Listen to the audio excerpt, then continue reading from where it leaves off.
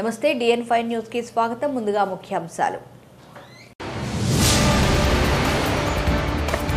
అవినీతి నిరోధక యాప్ను ఆవిష్కరించిన ముఖ్యమంత్రి వైఎస్ జగన్మోహన్ రెడ్డి.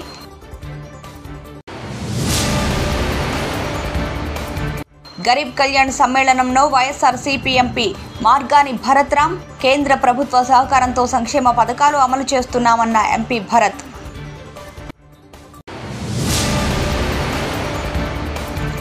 ఇంటర్నెట్ సౌకర్యాన్ని కూడా రద్దు చేసే అంత అరాచకాలకు ముఖ్యమంత్రి జగన్మోహన్ రెడ్డి కారణమన్న తెలుగు మహిళా రాష్ట్ర అధ్యక్షురాలు వంగలపూడి అనిత.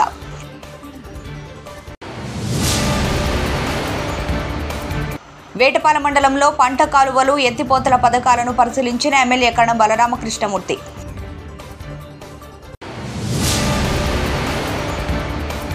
చీరాల ఏరియా హాస్పిటల్లో వైద్య సేవలు మెరుగుపరచాలని సిబ్బందిని ఆదేశించిన ఎమ్మెల్యే కణం బలరామకృష్ణమూర్తి.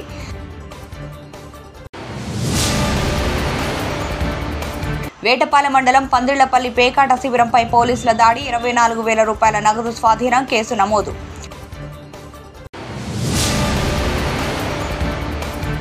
మసీదులు చర్చిలపై బండి సంజయ్ వ్యాఖ్యలకు నిరసనగా దళిత బహుజన పార్టీ ఆధ్వర్యంలో చీరాలలో ధర్నా.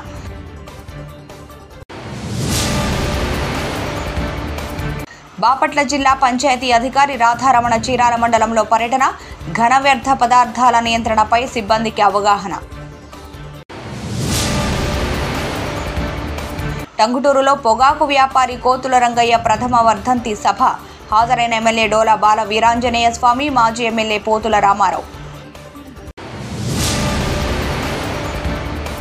స్థలం వివాదంలో చీరాల విజిలిపేటలో దాడి ఒకరికి గాయాలు.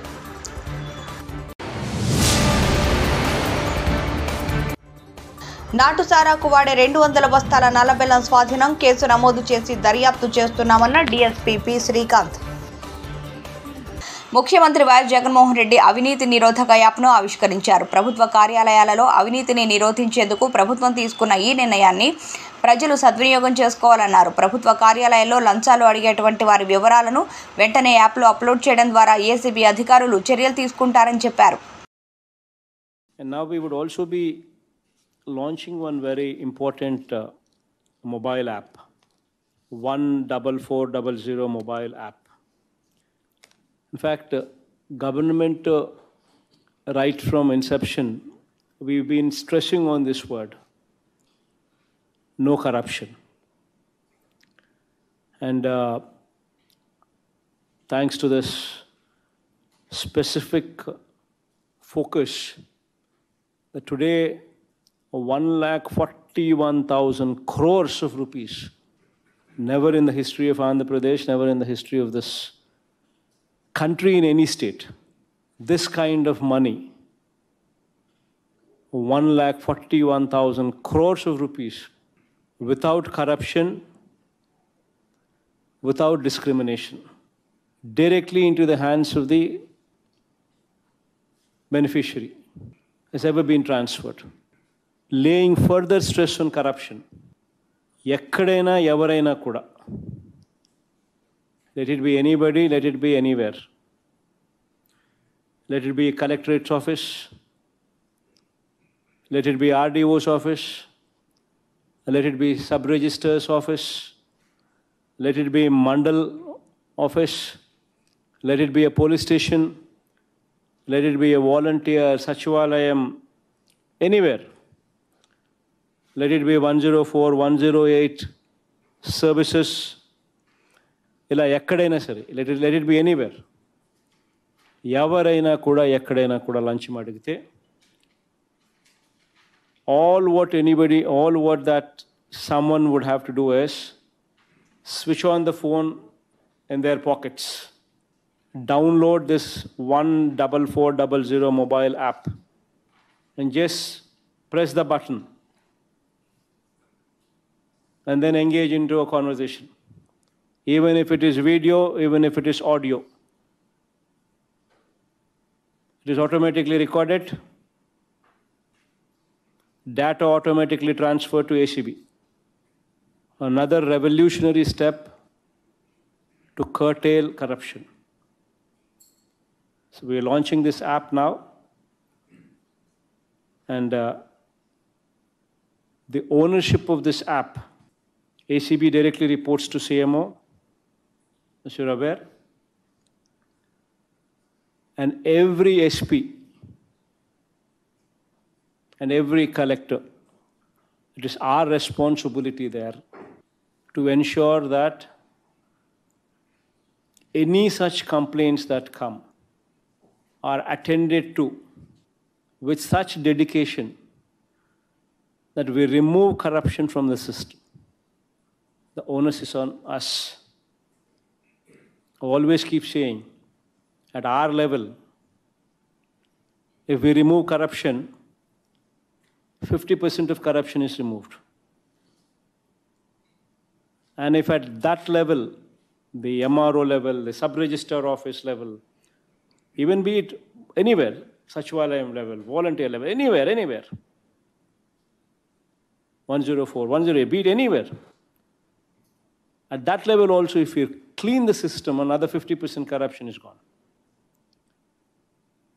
So the entire exercise we've been doing is to ensure that we give a corrupt-free government.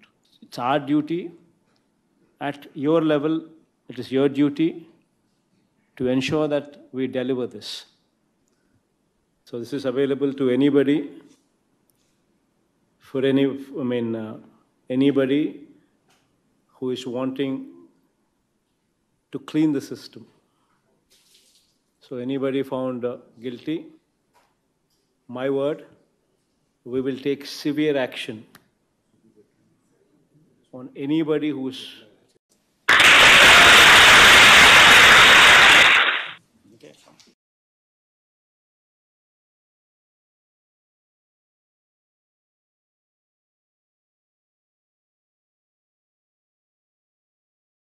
Garib Kalyan సమ్మేళనం. ఈ కార్యక్రమంలో వైఎస్ఆర్సీపీ ఎంపీ మార్గాని భరత్రామ్ కేంద్ర మంత్రి రాజీవ్ చంద్రశేఖర్తో కలిసి పాల్గొన్నారు. కేంద్ర ప్రభుత్వ సహకారంతో ఏపీలో రాష్ట్ర ప్రభుత్వం అమలు చేస్తున్న సంక్షేమ పథకాలను వివరించారు. నవరత్న సంక్షేమ పథకాలతో పేదలందరికీ చేయూత అందిస్తున్నట్లు చెప్పారు.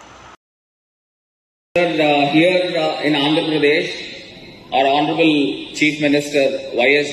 Reddy Garu, he has uh, uh taken to the cognizance of all households in the Andhra Pradesh state, sir. Here uh, we care, we nurture right from the pregnant ladies to the old people, sir. Here, uh, the social welfare schemes, what we are uh, implementing in the state of Andhra Pradesh, is uh, one of its kind. So, right from the pregnant ladies, sir, we give all kinds of uh, uh, all kind of food item which is required uh, for all the pregnant ladies, uh, so that the children who is the baby inside the womb uh, will be very healthy, sir. That kind of the, that kind of food groceries we've been giving, sir. And also, we have taken one more flag, flagship program of renovating all the schools. That program is called Nadu Nedu, where uh, we are developing all the schools uh, to the equivalent to the private schools with the corporate uh, level schools. Sir. So that we are uh, doing in a very massive way. And uh, today I'm very proud to announce here, sir, in uh, every government schools, there are uh, Earlier, nobody used to come to the government schools. But these days, the seats is highest demand. There is no place for uh, the people to get joined in the government schools. In that manner, we've been uh, developing all the infrastructure, sir. And also, apart from that, uh, the Honorable uh, Prime Minister and Government of India is supporting in different uh, various schemes, sir. And also, apart from that, our uh, Honorable Chief Minister also is uh, there is one one more novel scheme. It's called YSR Cheyuta. We are encouraging all self-help groups. That means Dwakra groups who are above 45 years to 60 years of every women who are there with the BPL card holders. They've been getting 18,750 per annum. So we are doing uh, such novel programs so that all women has to be independent so that they can erect any of their uh, uh, shops or any outlets so that they can stand uh, by their own without the support of their husbands. That is one uh, novel program uh, which we uh, are implementing in the state of Andhra Pradesh. And uh, every uh, uh, citizen who who are getting superannuated and above uh, 60 years of age, they've been getting pension of 2,500 right now. We are giving from the government of Andhra Pradesh, sir. So that anybody in Andhra Pradesh should not be there in the uh, should not uh, sleep with the empty stomach. That is the whole ideology of the uh, Honorable uh, Chief Minister, sir. In that way, with the blessings of Honorable Prime Minister, and uh, definitely we are uh, going in very successive uh, way in the state of Andhra Pradesh. Amalapuram అల్లల్లో Jaganmohan Reddy కుట్రలో భాగమేనని తెలుగు మహిళా రాష్ట్ర అధ్యక్షురాలు వంగలపూడి అనిత ఆరోపించారు ప్రశాంతంగా ఉన్న రాష్ట్రాన్ని కులాల కొట్లాట కేంద్రంగా మార్చారని అన్నారు ముఖ్యమంత్రి జగన్మోహన్ రెడ్డి అసమర్థత వల్లే రాష్ట్రంలో అరాచకాలు అక్రమాలు పెరిగిపోయాయన్నారు రాష్ట్రాన్ని రావణ కాష్టం చేశారని అన్నారు. ప్రశాంతమైన ఆంధ్రప్రదేశ్ రెండు వేల మనకి మన పంతొమ్మిది వరకు కూడా నవ్యాంధ్రప్రదేశ్ అని పిలువబడి స్వర్ణాంధ్రప్రదేశ్ అని పిలువబడి అంటే ఆంధ్రప్రదేశ్ అనేసరికి ఒక అభివృద్ధి అనేది గుర్తుకొచ్చే పరిస్థితి నుంచి రెండు వేల పంతొమ్మిది తర్వాత ఒక దద్దమ్మ ముఖ్యమంత్రి అసమర్థ ముఖ్యమంత్రి చేతిలో పడి అరాచక పాలనకి శ్రీకారం చుడుతూ ఓవరాల్గా వాళ్ళ తాలూకా పబ్బం గడుపుకోవడానికి వాళ్ళ తాలూకా అధికార దాహానికి వాళ్ళ తాలూకా డబ్బు దాహానికి ఈరోజు రాష్ట్రం ఏమైపోయినా పర్వాలేదు రాష్ట్రం రావణ కష్టమైనా పర్వాలేదు. మేము ఇందులో సర్వైవ్ అయిపోతున్నామన్న దృష్టిలోనే వీళ్ళు పరిపాలన సాగిస్తున్నారని చెప్పడానికి మన అమలాపురం సిచ్యువేషన్ ఒక ఉదాహరణగా చెప్పుకోవచ్చు. ఎందుకంటే ఇంతకుముందు సాధారణంగా ఎక్కడో కాశ్మీర్లోనో లేకపోతే ఎక్కడో టెర్రరిజం ఎక్కువగా ఉన్న చోట్లలోనో గ్రామాల్లో ఇంటర్నెట్ ఆపేశారనో లేకపోతే మొబైల్ సిగ్నల్స్ ఆపేశారనో మాట్లాడుకునేవాళ్ళు. అటువంటి పరిస్థితి ఈరోజు మన రాష్ట్రంలోనే మన జిల్లాలు పక్కనే ప్రశాంతంగా ఉన్న కోనసీమ లాంటి ఏరియాల్లో ఈరోజు సుమారుగా పది రోజుల నుంచి ఇంటర్నెట్ సౌకర్యాన్ని కూడా పునరుద్ధరించుకోకుండా ఉండేటంత అల్లర్లు జరిగినాయి అంటే దీనంతటికీ ప్రధానమైన కారణం ఎవరా అని మనం ఆరా తీస్తే అన్నిటికీ కలిపి ఒకటే సమాధానం దీని అంతటికి కారణం వైఎస్ఆర్సీపీ మూకలు వైఎస్ఆర్సీపీ నాయకులు. ఓవరాల్గా చెప్పాలంటే జగన్మోహన్ రెడ్డి తాలూకా అరాచక పాలనకు ఒక ఉదాహరణగా చెప్పుకోవచ్చు. ఎందుకంటే వీళ్ళకి సంబంధించి అంబేద్కర్ జిల్లాగా ప్రకటించాము అని చెప్పిన సందర్భంలో వీళ్ళు ఎక్కడ రాజకీయంగా వీళ్ళు పబ్బం గడుపుకోవడానికి కులాన్ని ఉపయోగించుకుంటున్నారని చెప్పడానికి ప్రతిపక్షంలో ఉండేటప్పుడు కూడా రైలు తగలబెట్టించి కాపు నాయకులందరినీ కూడా రెచ్చగొట్టి ఆ రైలు తగలబెట్టే ఇష్యూలో కూడా విపరీతమైన వైఎస్ఆర్సీపీ నాయకులు కూడా అందులో ఉండటం. గవర్నమెంట్ వచ్చి రాగానే అందులో ఉన్న కేసులన్నింటినీ కూడా మాఫీ చేయటం. ఓవరాల్గా చెప్పాలంటే ఒక సెంట్రల్ గవర్నమెంట్ తాలూకా ఆస్తిని ధ్వంసం చేశారంటే ఆ కేసులు కూడా చాలా బలంగా ఉంటాయి. కొన్ని సంవత్సరాలు నడుస్తూనే ఉంటాయి. అలాంటి కేసుల్ని కూడా వీళ్ళు వచ్చిన తర్వాత ఇమీడియట్గా కేసులన్నింటినీ కూడా బ్యాకప్ చేసుకోవడం వెనక్కి తీసేసుకోవటం కేసులని మాఫీ చేయడం చూస్తూ ఉంటే ఆ రోజు వీళ్ళ అధికారం దాహానికి వీళ్ళ అధికారం కోసం పాకులాడడం గురించి రైళ్ళు తగలబెట్టి కాపు ఉద్యమానికి తెరలేపి ఓవరాల్గా అక్కడ ఒక సెగన నింపి కుల రాజకీయాల మీద పునాదులు కట్టుకొని ఈరోజు సీఎం కుర్చీలో కూర్చున్న వ్యక్తి. సీఎం కుర్చీలో కూర్చోవడానికి ఎంతకైనా తెగించాలి అన్న పీకే సిస్టంలో భాగంగానే కోడికత్తును సృష్టించుకొని ఇంకా అంతకు మించి పీక్స్ బాబాయిని గొడ్డలు వేటుతున్న హత్య చేసి బాత్రూంలో ఓవరాల్గా ఇవన్నీ కలుపుకొని ఏవైతే ఏవైంది ఒక శవాల గుట్ట మీద కుర్చీ వేసుకొని కూర్చున్నట్టుగా సీఎం కుర్చీలో కూర్చున్నాడు ఈరోజు. కూర్చున్న దగ్గర నుంచి ఆ సీఎం కుర్చీ కూర్చున్న దగ్గర నుంచి ఆ సీఎం కుర్చీ కదలకూడదు. కదలకూడదు అంటే మళ్ళా ఎవడరా ఉండాలి అనుకుంటే అభాగ్యులను వాళ్ళైనా ఎస్సీలకు సంబంధించి దళిత బడుగు బలహీన వర్గాలు మైనార్టీ వర్గాలు వీళ్ళకి కనిపిస్తాయి. ఓవరాల్గా వీళ్ళకి మంచి ఆశ్రయం దొరికింది. ఫస్ట్ సుధాకర్ ఇష్యూ దగ్గర నుంచి మన సుబ్రహ్మణ్యం వరకు కూడా ప్రతి ఆస్పెక్ట్లోని కూడా ఈ గవర్నమెంట్ అధికారంలోకి వచ్చిన తర్వాత ఎస్సీలని టార్గెటెడ్గా దో వాళ్ళందరినీ కూడా దాడులు చేస్తూ హత్యలు చేస్తూ మాస్క్ అడిగిన పాపానికి సుధాకర్ మొదలు పెట్టుకొని మొన్న రీసెంట్ రీసెంట్గా సుబ్రహ్మణ్యం అనే ఆ డ్రైవర్ని ఎమ్మెల్సీ సాక్షాత్తు హత్య చేసి ఇంటికి వాళ్ళ దగ్గరికి తీసుకెళ్ళి అంటే డోర్ డెలివరీ శవాన్ని డోర్ డెలివరీ చేసే దమ్ము కలిగిన వ్యక్తిగా ఆ రోజు నుంచోగలిగాడంటే నిజంగా ఎంత అధికారం మదంతో కొట్టుకు చేస్తున్నారో వీళ్ళు ఒకసారి మనం ఆలోచించుకోవాలి. నిన్న మొన్న ఒక టీవీ డిబేట్లో చూశాను. దీన్ని ఎలా సమర్థించుకుంటున్నాడంటే అందులో ఉన్న వైఎస్ఆర్సీపీ ఒకడు నిజంగా అతని మనిషనాలు పశువనాలు నాకైతే అర్థం కాదు. శవాన్ని చాలా మర్యాదపూర్వకంగా తీసుకెళ్ళాడట. ఎందుకు ఈ మాట ఇక్కడ మెన్షన్ చేస్తున్నానంటే మనిషి శవానికి కూడా వీళ్ళు విలువ ఇవ్వలేని దుస్థితిలో వైఎస్ఆర్సీపీ పార్టీ ఉంది. ఇవన్నీ జరుగుతున్న నేపథ్యంలో అమలాపురం అల్లర్లు విపరీతమైన అల్లర్లు వచ్చి ఆ అల్లర్లన్నీ ఎంతవరకు వెళ్ళినాయి అంటే కర్ఫ్యూలు విధించి వన్ ఫార్టీ ఫోర్ సెక్షన్లు విధించి ఈ రోజు వరకు కూడా ఎక్కడా కూడా ఇంటర్నెట్ సౌకర్యం కానీ మొబైల్ సౌకర్యం కానీ కల్పించుకోలేనంత దుస్థితిలో ఈరోజు ప్రజలు ఇబ్బంది పడే పరిస్థితిలో ఉన్నారు అనుకుంటే దీని అంతటికీ వెనకాతల బ్యాకే పవర్రా ఉన్నారంటే వైఎస్ఆర్సీపీ వాళ్ళని డే ఫస్ట్ నుంచి కూడా తెలుగుదేశం పార్టీ మొత్తుకుంటూనే ఉంది. అంబేద్కర్ జిల్లాగా ప్రకటించాలి అనుకునేటప్పుడు అల్లూరు సీతారామరాజు జిల్లాగా ప్రకటన రోజు రోజే ప్రకటించాలి కదా. ఈరోజు అన్నమయ్య జిల్లాగా ప్రకటించిన రోజు అంబేద్కర్ జిల్లాగా ప్రకటించాలి కదా. అలా మానేసి అంబేద్కర్ జిల్లాగా ప్రకటించి ఆ రోజు సజ్జల రామకృష్ణారెడ్డి గారు మాట్లాడుతూ అంబేద్కర్ జిల్లాగానే మేము కొనసాగిస్తామని చెప్తూనే మళ్ళా పద్దెనిమిదో తారీఖు వరకు దీని మీద ఎవరికైనా ఎటువంటి అభ్యంతరాలు ఉంటే తీసుకుంటామని చెప్పడం. అంటే ఓవరాల్గా చెప్పేది ఏంటంటే ఎస్సీ ఓట్ బ్యాంక్ ఎక్కడో వాళ్ళకి కదులుతుంది అన్న ఆలోచన వచ్చి ఆ ఎస్సీ ఓట్ బ్యాంక్ని ఎలాగైనా దగ్గరికి చేర్చుకోవాలనే ఉద్దేశంతో అల్లర్లు సృష్టించైనా ఒకరిల్లు తగలబడిపోయినా ఒకరిద్దరు చచ్చిపోయినా పర్వాలేదు. మా ఓట్ బ్యాంక్ మాకు మిగలాలి మేము మళ్ళీ అధికారంలోకి రావాలి మళ్ళా కుర్చీల మీద కూర్చొని దోచుకోవాలి అని ఒకే ఒక కాన్సెప్ట్తో ఈ రోజు వాళ్ళందరూ కలిపి మళ్ళీ అల్లర్లు సృష్టించి వాళ్ళే వాళ్ళ మనుషుల చేత వాళ్ళే తగలబెట్టించుకునే పరిస్థితులు దిగజారిపోయారంటే ఇంతకు మించిన దౌర్భాగ్యుల్ని రౌడీ మోకల్ని ఆంధ్రప్రదేశ్ ప్రజలు ఇంతకు ముందు చూడలేదు ఇకపై చూడబోరు కూడా. వేటపాలెం మండలం పందిళ్ళపల్లి చెల్లారెడ్డిపాలెం పంచాయతీ పరిధిలోని పంట కాలువలు ఎత్తి పథకాలను అధికారులతో కలిసి శాసనసభ్యులు కడం బలరామకృష్ణమూర్తి పరిశీలించారు. పందిళ్ళపల్లిలో రాజు బంగారుపాలెం కాలువను శుభ్రం చేయాలని ఆదేశించారు. వర్షాకాలం ప్రారంభమవుతున్నందున రొంపేరు డ్రైన్లో అడ్డంకులు తొలగించాలని అధికారులకు సూచించారు. మోటుపల్లి నాయనపల్లి ఎత్తిపోతల పథకాలను పరిశీలించి త్వరితంగా రిపేర్లు చేసి సాగునీటి విడుదలకు ఏర్పాట్లు చేయాలని చెప్పారు. ఆయన వెంట AP IDC EE K Sukumar డిఈలు Chennareddy Siraj drainage DE Muralikrishna AE Anjibabu irrigation DE Prasad AWE Pavan AE Adilakshmi MPDO Netaji APO Sudharani Pandillapalli PSC chairman Palaprolu Srinivasarao Cherukuri Lakshman Sadhu Raghava Pogadadanda Ravi కట్టా గంగయ్య జంగిలి రామారావు తలారి రాజు తలారి శ్రీను గొలప్రోలు కృష్ణ పెరుగు భాస్కర్ పాల్గొన్నారు.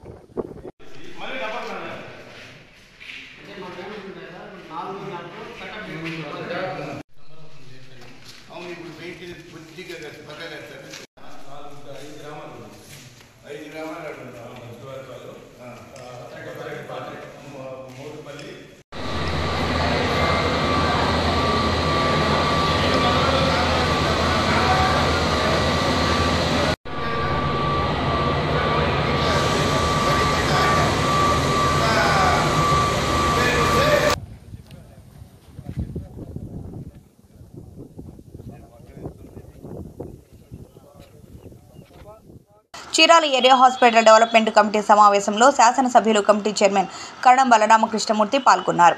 Hospital సిబ్బంది సక్రమంగా సేవలు అందించడం లేదని ఆయన ఆగ్రహం వ్యక్తం చేశారు. రోగులకు సేవలు సక్రమంగా అందేలా చూడాలని ఆదేశించారు. గర్భిణీ స్త్రీలు డెలివరీ కేసుల విషయంలో మెరుగైన సేవలు అందించాలని చెప్పారు. పోస్టుమార్టం కేసుల విషయంలో అశ్రద్ధ సహించనన్నారు. తక్షణమే సేవలు మెరుగుపరచాలని అధికారులను ఆదేశించారు. ఈ కార్యక్రమంలో hospital superintendent doctor Seshukumar hospital committee సభ్యులు దామల శ్రీకృష్ణ డాక్టర్ ప్రసాద్ డాక్టర్ హైమా సుబ్బారావు డాక్టర్లు హాస్పిటల్ సిబ్బంది పాల్గొన్నారు.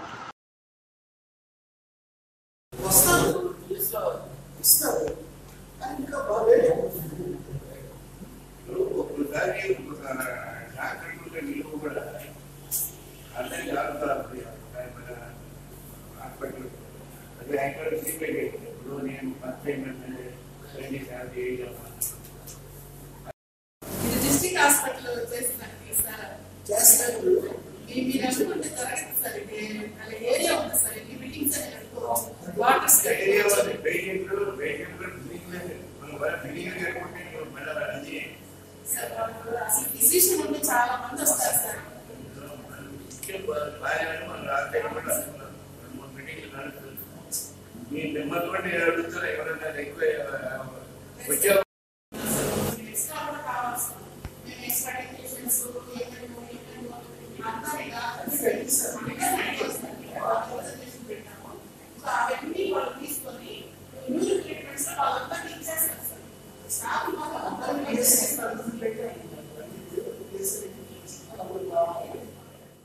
బాపట్ల జిల్లా వేటపాలెం మండలం పందిళ్ళపల్లి శివారులో పేకాట శిబిరంపై వేటపాలెం పోలీసులు దాడి చేశారు.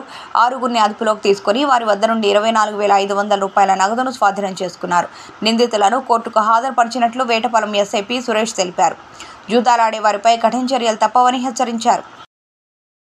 వేటపాలెం పిఎస్ లిమిట్స్లో రాబడిన సమాచారం మేరకు నేను నా సిబ్బందితో కలిసి పందిలపల్లి ఎలక్ట్రికల్ సబ్ స్టేషన్ ఎదురుగా ఒక తోటలో పేకాట పేకాట ఆడుతున్నారని సమాచారం మేరకు వెళ్ళడం జరిగింది. అక్కడ మేము ఒక సిక్స్ మెంబర్స్ కూర్చొని కోత ముక్క ఆట ఆడుతున్నారు. వాళ్ళని నిలుపుదల చేసి వాళ్ళ దగ్గర పందానికి సంబంధించిన అమౌంట్ చూడగా వాళ్ళ దగ్గర మొత్తం అందరి దగ్గర కూడా సిక్స్ మెంబర్స్ని అదుపులో తీసుకున్నాం. వాళ్ళ దగ్గర నుంచి ఇరవై నాలుగు వేల ఐదు వందల రూపాయలు అమౌంట్ తీసుకున్నాం. తదుపరి వాళ్ళని స్టేషన్కి తీసుకొచ్చి వాళ్ళని రేపు కోర్టులో హాజరుపరిచి కోర్టు ద్వారా వాళ్ళతో శిక్ష పడేలా చేస్తుంది. బాపట్ల జిల్లా చీరాల తహసీల్దార్ కార్యాలయం వద్ద దళిత బహుజన పార్టీ ఆధ్వర్యంలో ముస్లింలపై అనుచిత వ్యాఖ్యలు చేసిన తెలంగాణ రాష్ట్ర బీజేపీ అధ్యక్షులు బండి సంజయ్ను వెంటనే అరెస్టు చేయాలని కోరుతూ నిరసన ప్రదర్శన నిర్వహించారు. ఈ సందర్భంగా దళిత బహుజన పార్టీ జిల్లా అధ్యక్షులు షేక్ జిలానీ మాట్లాడుతూ భారతదేశంలో ముస్లింలు హిందువులు క్రైస్తవులు సిక్కులు అన్నదమ్ముల వలె కలిసిమెలిసి జీవిస్తున్నారన్నారు. తెలంగాణ బీజేపీ అధ్యక్షులు బండి సంజయ్ మసీదులు చర్చిలు పగలగొట్టమని శవాలు దొరికితే మీకు శివలింగాలు దొరికితే మాకు అంటూ రెచ్చగొట్టే వ్యాఖ్యలు చేయడం ఖండించదగిన విషయమన్నారు. అతన్ని వెంటనే అరెస్టు చేయాలని డిమాండ్ చేశారు. పార్టీ నుండి బహిష్కరించాలని డిమాండ్ చేశారు. తెలంగాణ బీజేపీ రాష్ట్ర అధ్యక్షుడు మన బండి సంజీవ్ గారు. ఎలాంటి చూడండి మనం ఎనభై సంవత్సరాలుగా ముస్లింలు హిందువులు భయభాయిగా అందరం కలిసిమెలిసి బతుకుతుంటే మనం అందరం మతం చిచ్చి పెట్టింది కాకుండా ముస్లింలపై అనుచిత వ్యాఖ్యలు చేయటం మసీదులు పాల్గొడతా ఉంటే ఏమి ఎంత దారుణం ఉంది ఒక పార్టీ అధ్యక్షుడు ఆ మాట అనొచ్చా? అంత దారుణం అండి. అలాంటి వ్యక్తిని కఠినంగా శిక్షించాలి. చూడండి మన భారతదేశంలో ఎన్నో సంవత్సరాలుగా అందరూ హిందువులు ముస్లింలు క్రైస్తవులు సిక్కులు పార్సీలు అందరూ అన్నదమ్ముల్లో కలిసి మెలిసి బతుకుతుంటే మన మధ్యన మధ్య చిచ్చి పెట్టడం వాళ్ళ అధికారం కోసం ఏదేదో చేస్తారు ఎంతవరకు సమంజసం ఒకసారి మానవతలు ఆలోచించండి. అలాంటి వ్యక్తిని వెంటనే అరెస్ట్ కఠినంగా శిక్షించాలి. ఎందుకంటే ఇలాంటి వ్యక్తుల వల్లే మన భారతదేశానికి చెడ్డ పేరు. భారత భారతదేశం అంటే ప్రపంచంలో ఎంతో గొప్ప పేరు. అలాంటి దేశాన్ని ఈ రోజున పొలం పచ్చగా ఉండాలంటే కలుపు ముక్కులు పీకేసినట్టు మన భారతదేశం పచ్చగా ఉండాలంటే ఇలాంటి మతోన్మాద వ్యక్తుల్ని తీసేయటం వేరుపారేయటమే అప్పుడే మన భారతదేశం పచ్చగా ఉంటుంది. సోదరులారు ఎక్కడైనా చూడండి. మన భారతదేశంలో హిందువులు కానీ ముస్లింలు క్రైస్తవులు పాటలు అందరూ మనంత సోదరు సోదరులు నూట ముప్పై కోట్ల మంది మనమంతా భారతీయులమే. మనంతా భారత మాత్రం ఉండి బిడ్డలమే. అలాంటి మన మీద మత చిచ్చులు పెట్టడం చాలా దానం ఇలాంటి వ్యక్తిని మన దేశం నుంచి తరిమివేయాలి. వేయాలి వ్యక్తి వ్యక్తిని కఠినంగా శిక్షిస్తేనే కానీ ఇలాంటి చర్యలు మళ్ళీ ఏ చేయవు. ఇక్కడైనా సరే రాష్ట్ర ప్రభుత్వం కానీ కేంద్ర ప్రభుత్వం కానీ ఇలాంటి సంఘటనలు ఎక్కడ జరగకుండా కఠినమైన చర్యలు తీసుకోవాలి. బండి బాపట్ల జిల్లా చీరాల మండలంలో జిల్లా పంచాయతీ ఆఫీసర్ ఏ రాధారమణ పర్యటించారు. ఈ సందర్భంగా ఆయన మాట్లాడుతూ ముఖ్యమంత్రి వైఎస్ జగన్మోహన్ రెడ్డి సంకల్పించిన స్వచ్ఛ సంకల్పంలో భాగంగా తడి చెత్త పొడి చెత్తను వేరు చేసి వాటి ద్వారా వచ్చే ఆదాయాన్ని పంచాయతీ అభివృద్ధికి కేటాయించడం జరుగుతుందన్నారు. గాజు సీసా పెంకులను వేరు చేసి వాటిని రీసైక్లింగ్ చేసి మరికొంత ఆదాయాన్ని చేకూర్చుకుంటామని తెలిపారు. అందువల్ల ప్రతి ఒక్కరూ తప్పనిసరిగా సహకరించాలని కోరారు. ఆయన వెంట చీరాల మండల పరిషత్ అభివృద్ధి అధికారి సాంబశివరావు పంచాయతీ సెక్రటరీలు సిబ్బంది పాల్గొన్నారు. ఈ చీరాల మండలం గాంధీనగర్లో ఉన్నటువంటి సాలిడ్ వేస్ట్ ప్రాసెసింగ్ సెంటర్ షెడ్ని దర్శించడం జరిగింది. ఇక్కడ మొత్తం ఈ వాతావరణంలో నాడే పిట్స్ అదేవిధంగా వర్మీ పిట్స్తో షెడ్ అయితే బాగా చక్కగా నిర్మించారు. కాకపోతే కొంచెం ఇక్కడ ఉన్నటువంటి హౌస్ హోల్డ్స్లో అది మనకి బ్లాక్ క్యాటిల్ అంటే గేదెలు కానీ ఆవులు కానీ పర్సంటేజ్ ఉండేటువంటి అవకాశాలు తక్కువ ఉన్నాయి కాబట్టి ఇక్కడ వర్మీ ప్రిపేర్ చేయడానికి కొంచెం లేట్ అవుతుంది. అదేవిధంగా ఇప్పుడు ఉండేటువంటి హై టెంపరేచర్ వల్ల చాలా వాటికి వర్మీ పాడైపోయిందని చెప్పని సెక్రటరీ గారు తెలియజేశారు. వారికి ఏంటంటే మన సజెషన్ ఈ షెడ్ వల్ల తడి చెత్త వల్ల ఆదాయం వచ్చే ఆదాయము పొడి చెత్త వల్ల వచ్చే ఆదాయము పంచాయతీకి చేరాలనేటువంటి ఉద్దేశంతో వాళ్ళకి మనం సజెషన్ ఇస్తుంది. ఏంటంటే వచ్చే వర్షాలు పడిన తర్వాత అయినా సరే వర్మీ తయారు చేసుకోవడానికి ప్రిపేర్ చేసుకోమని చెప్పి సలహా చెప్తున్నాము. అదేవిధంగా వాళ్ళకు వచ్చినటువంటి డ్రై వేస్ట్ అంటే గాజు సీసాలు కానివ్వండి లేకపోతే ప్లాస్టిక్ బాటిల్స్ కానీ అలాంటివన్నీ కూడా వాటిని సేల్స్ చేసి ఖచ్చితంగా పంచాయతీ యొక్క ట్రెజరీ అకౌంట్లో పే చేయవలసిందిగా వాళ్ళకి తెలియజేయడం జరిగింది. వాళ్ళకి ఇప్పుడు వచ్చేటువంటి ఫిఫ్టీన్త్ ఫైనాన్స్ నిధుల్లో కానీ వేటికైనా సరే సాలిడ్ వేస్ట్ ప్రాసెసింగ్ సెంటర్స్కి అంటే పారిశుధ్యం మీద ఎక్కువగా మనకి గవర్నమెంట్ అవకాశం ఇస్తుంది. వాళ్ళని ఎక్కువగా ఈ షెడ్స్ డెవలప్మెంట్ షెడ్ ద్వారా పంచాయతీకి ఎక్కువ ఆదాయం వచ్చేటువంటి మార్గం చూపించడం అనేటువంటిది ఈ పర్యటన యొక్క ముఖ్య ఉద్దేశం. మన గౌరవ బాపట్ల జిల్లా కలెక్టర్ గారి యొక్క ఆదేశాల మేరకి మన మా జిల్లా అధికారులందరూ కూడా అన్ని గ్రామాలు అలాగే షెడ్స్ సందర్శిస్తూ ఇక్కడ ఉండేటువంటి స్థానిక ప్రజలకి మన స్థానిక అధికారులకి సజెషన్స్ ఇవ్వడం జరుగుతుంది. వాళ్ళకి ఎలా ఇస్తే మనకి ఈ స్వచ్ఛ సంకల్పం అనేటువంటిది ఎంత బాగా ఎఫెక్టివ్గా ఇంప్లిమెంట్ అవుతుందనే విషయం గురించి వాళ్ళందరికీ కూడా సలహా సూచనలు ఇచ్చి మన కార్యక్రమంలో మన బాపట్ల జిల్లా అనేటువంటిది స్వచ్ఛ జిల్లాగా మార్పు చేయడానికి తగినటువంటి ఒక భూమికని మనం ఇప్పుడు ఈ రోజున ఏర్పాటు చేసుకుంటున్నాము. సో దీంట్లో ప్రజలందరూ కూడా సహకరించి ముందుగా మీ మీ ఆ, ఇళ్ళలో ఉండేటువంటి తడి చెత్తని పొడి చెత్తని మీరు విడిచేసి ఇచ్చినట్లయితే ఇక్కడ ఇక్కడ ఉండేటువంటి షెడ్ దగ్గర పనిచేసే వ్యక్తికి మరలా అతను మనం ఏదైతే విడిచిపెట్టామో ఆ పదార్థాలు చేయి పెట్టి చేయటువంటి నిజంగా అమానుషత్వంగా మనం చెప్పుకోవచ్చు. అలా చేయకుండా మనం ఇంటి దగ్గరే అక్కడ మాకు ఇచ్చినటువంటి రెండు డబ్బాలు. డబ్బాలు లేదనుకున్నప్పుడు మీ అందుబాటులో ఉన్న ప్లాస్టిక్ గోతం కానివ్వండి మీరు పాత పాత పెయింట్ బకెట్లు కానివ్వండి ఏమైనా సరే మీ ఇంట్లో అందుబాటులో ఉన్నటువంటి రెండు పాతవి ఏదైనా సరే డబ్బాలు పక్కన పెట్టుకుని వాటిలో ఈ తడి చెత్త ఒక ఒక డబ్బాలో పొడి చెత్త ఒక డబ్బాలో వేసి వాటిని ముందుగా మనం ఇవ్వడం నేర్చుకున్నట్లయితే ఉత్తరత్తర మనకి ప్రభుత్వం నుంచి మనకు ఈ డస్ట్బిన్స్ వచ్చిన తర్వాత మళ్ళీ ప్రతి ఇంటికి రెండు డస్ట్బిన్స్ చొప్పున ఇవ్వడం జరుగుతుంది. గతంలో త్రీ ఇయర్స్ బ్యాక్ అంటే మూడేళ్ళ క్రితం ఇచ్చున్నారు మనకి ఇట్లా. ఇచ్చారు కానీ అది కొంతమంది మేము పోగొట్టుకున్నామని చెప్పి చెప్తున్నారు. సో వాటికి ప్రభుత్వం మనకు పైనుంచి తన చిన్నాన్న జ్ఞాపకాలను పంచుకున్న అందరితో భవిష్యత్తులో కలిసి ముందుకెళ్తానని మాజీ శాసనసభ్యులు పోతుల రామారావు అన్నారు. కందుకూరు మాజీ ఎమ్మెల్యే పోతుల రామారావు చిన్నాన్న పొగాకు వ్యాపారస్తులు పోతుల రంగయ్య ప్రథమ వర్ధంతి సందర్భంగా టంగుటూరు కొండపి రోడ్డులోని ఎస్ఎల్టీసీలో ఏర్పాటు చేసిన కార్యక్రమంలో రంగయ్య చిత్రపటానికి పూలమాలలు వేసి నివాళులు అర్పించారు. ఈ కార్యక్రమంలో కొండేపి శాసనసభ్యులు డోలా శ్రీ బాలవీరాంజనేయ స్వామి తెలుగుదేశం రాష్ట్ర నిర్వాహక కార్యదర్శి దామచెల్ల సత్య కందుకూరు మాజీ శాసనసభ్యులు పోతుల రామారావు మాజీ శాసనసభ్యులు Gundapaneni Achyut Kumar Kasukurthi Adenna Pothula Krishnarao Pothula Narasimharao Pothula Prasad Pothula Mahesh Paparao public school correspondent director Chidipothu Sasheer Siddhartha Tanguturu మాజీ సర్పంచ్ బెల్లం జయంతిబాబు మాజీ ఎంపీపీ చదలవాడ చంద్రశేఖర్ తెలుగు రైతు రాష్ట్ర ప్రధాన కార్యదర్శి బెజవాడ వెంకటేశ్వర్లు కాట్రగడ్డ అనిల్ టీడీపీ మహిళా నాయకులు భారతి పద్మ పాల్గొన్నారు. భవిష్యత్తులో కూడా మీరు అందరూ కూడా మా కుటుంబంతో ఎటువంటి ఎప్పుడైతే ఎప్పుడు ఎటువంటి జ్ఞాపకాలను పంచుకున్నామో వాటన్నిటిని కూడా భవిష్యత్తులో కూడా మీరు అందరూ కూడా కలిసి మనందరం కూడా ముందుకెళ్దామని ఈ సందర్భంగా తెలియజేసుకుంటూ మీరు సెలవు తీసుకుంటాం. బాపట్ల జిల్లా చీరాల విజిలిపేటకు చెందిన కాకుటూరి మత్తయ్యపై అదే ప్రాంతానికి చెందిన బెజ్జం కృప రమేష్ రవితేజలు మారణాయుధాలతో దాడికి పాల్పడ్డారు. తీవ్ర గాయాల పాలైన క్షతగాత్రుణ్ణి చీరాల ప్రభుత్వ వైద్యశాలకు తరలించగా ప్రాథమిక చికిత్స అందించి మెరుగైన చికిత్స కోసం గుంటూరు తరలిస్తున్నారు.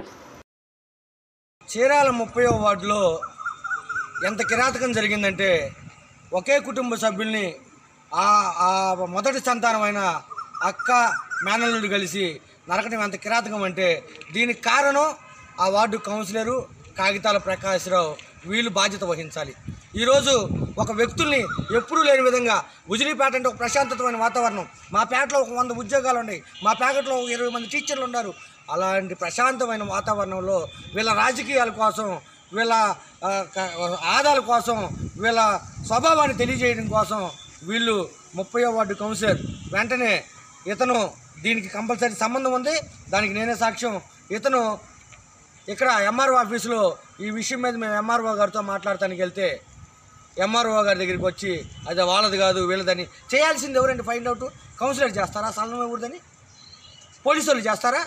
పోలీస్ స్టేషన్కి వెళ్ళాం. పోలీస్ స్టేషన్కి వస్తే పోలీస్ స్టేషన్లో మేము కౌన్సిలర్లు మేము ఏం చెప్పింది. కాగితాల ప్రకాశరావు. కాగితాల ప్రకాశరావు వచ్చి వాడు ఏం చేస్తాడు? వీడేం చేస్తాడు? మీరు ఏదైనా చేయండి నేనున్నానని చెప్పి అతను ఒక స్టేట్మెంట్ ఇవ్వటం. ఈ హత్యకి ఈరోజు ఈ రకంగా రక్తపు మడుగులో కూడా పడి ఉండ పడి పడి ఉండి ఆ రకంగా నరాలు కూడా తెగిపోతే దీని అంతటికి ముప్పై వార్డు కౌన్సిలరు కాగితాల ప్రకాశ్రావు అలాగే వాళ్ళ టీము మొత్తం బాధ్యత వహించాలి. వీళ్ళు ఇలాగే ఎన్నోసార్లు మేము ఒకటో పట్టిన సీఐని కలిసా నేనే కలిసా. అయ్యా వీళ్ళ మీద వన్ నాట్ సెవెన్ సిఆర్పిసి కట్టు బైండ్ ఓవర్ చేయి వీళ్ళు గొడవలు ఆడుకోకుండా చూడు అని ఎన్నోసార్లు నేను చెప్పినట్టుకి మా మాట పెడచమని పెట్టారు. ఎన్నోసార్లు కమిషనర్ని కలిసాం ఎన్నోసార్లు చైర్మన్ని కలిసాం ఎన్నోసార్లు ఎంఆర్ఓని కలిసాం. వీళ్ళు అధికారుల లేకపోతే నిద్రపోతున్న నిద్రమత్తులా అని నేను అడుగుతున్నా ఈరోజు మీడియా పరంగా.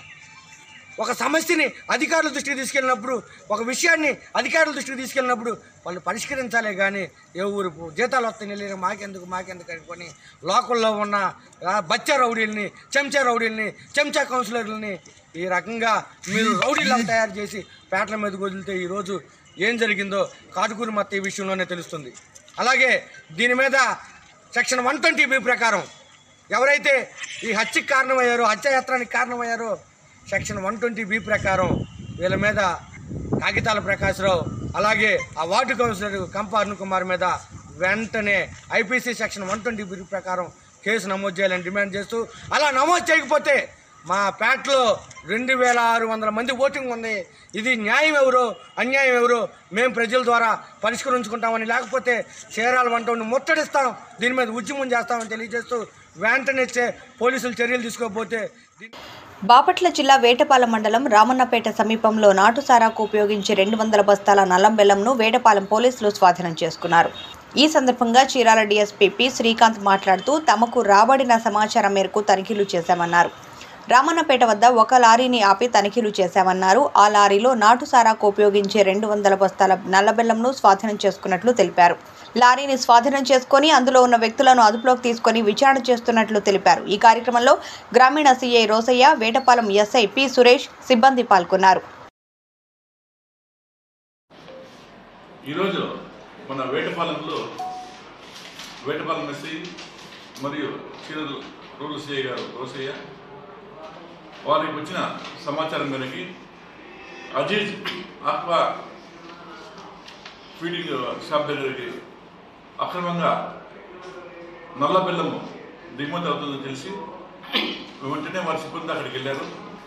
అక్కడ ఒక లారీలో సుమారు రెండు వందల బస్తాలు నల్ల జాగరి ఉన్నది. దాంట్లో నలభై బస్తాలు జాగరి అజిత్ షాప్లోకి అన్లోడ్ చేసుకున్నారు. ఈ నల్ల బెల్లానికి రవాణాకి సంబంధించి ఎలాంటి రికార్డు లేకుండా అక్రమంగా సారాయి కంచడానికి సారాయి తయారు చేసే వాళ్ళకి సప్లై చేయడానికి చిత్తూరు నుంచి ఒక పథకం ప్రకారం చిత్తూరులో తయారుదారులు ఇక్కడికి పంపిస్తున్నారని తెలిసింది.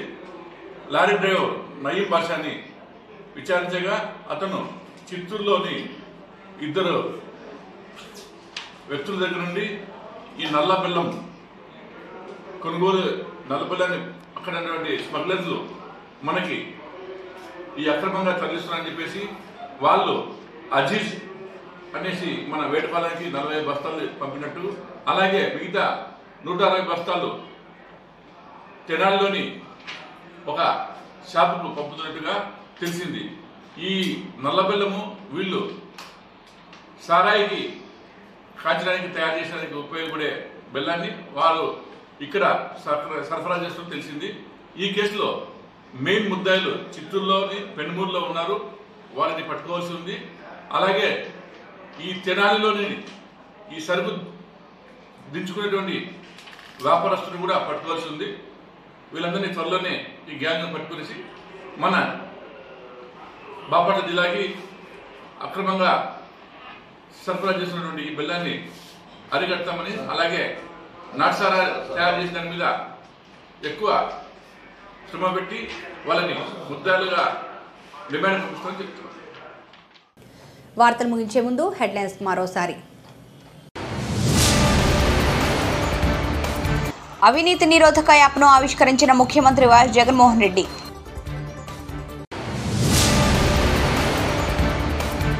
Garib Kalyan సమ్మేళనంలో YSR CP MP Margani Bharat Ram కేంద్ర ప్రభుత్వ సహకారంతో సంక్షేమ పథకాలు అమలు చేస్తున్నామన్న ఎంపీ భరత్.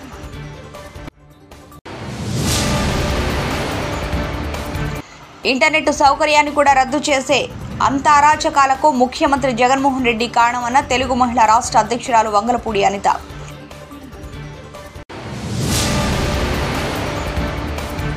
వేటపాల మండలంలో పంట కాలువలు ఎత్తిపోతల పథకాలను పరిశీలించిన ఎమ్మెల్యే కణం బలరామకృష్ణమూర్తి.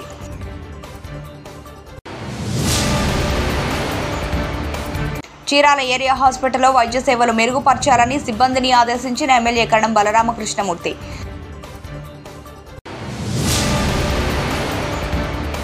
వేటపాలెం మండలం పందిళ్ళపల్లి పేకాట శిబిరంపై పోలీసుల దాడి ఇరవై నాలుగు వేల రూపాయల నగదు స్వాధీనం కేసు నమోదు.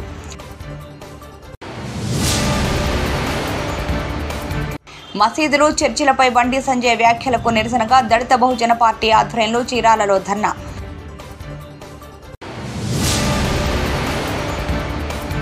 బాపట్ల జిల్లా పంచాయతీ అధికారి రాధారమణ చీరాల మండలంలో పర్యటన ఘన వ్యర్థ పదార్థాల నియంత్రణపై సిబ్బందికి అవగాహన.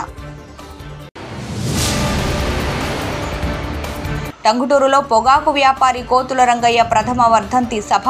హాజరైన ఎమ్మెల్యే డోలా బాల వీరాంజనేయ స్వామి మాజీ ఎమ్మెల్యే పోతుల రామారావు. స్థలం వివాదంలో చీరాల విజిలిపేటలో దాడి ఒకరికి గాయాలు.